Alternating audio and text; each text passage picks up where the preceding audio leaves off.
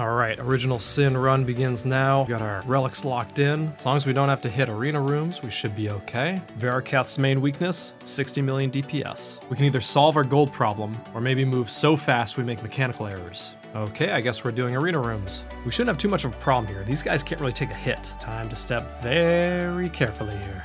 Oh, hey, a merchant. Ah, it's Infernum! Okay, this should be fine as long as he dies. Hey, he's dead, he's dead, he's dead!